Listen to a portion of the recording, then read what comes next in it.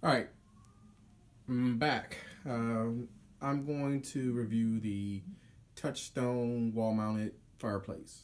Uh, it's a it's a decent fireplace slash heater. Uh, heats up a nice size room pretty well.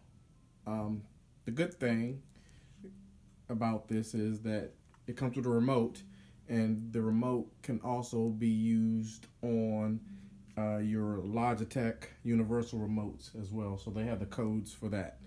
Um, I'll go ahead and power it on. So when you turn it on, you have this display. It's a constant loop display. You could also switch out the uh, fire for uh, crystals or the wood for crystals, but I like the uh, the wood look, so we decided to stick with that.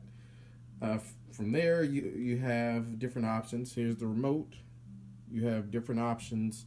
Uh, you can turn on the heater, which is the little ray of heat button right there. So you turn the heat on. And then once the heat is on, you can turn it up. There's there's three levels of heat or you can turn it down. It also has a timer. So if you press the uh, timer button, which is right there, the hourglass,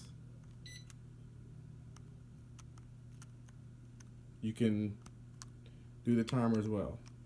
So all in all, a good, nice addition to a bedroom. The flame does look realistic, as you can see um, on here. It's not very expensive easy to install.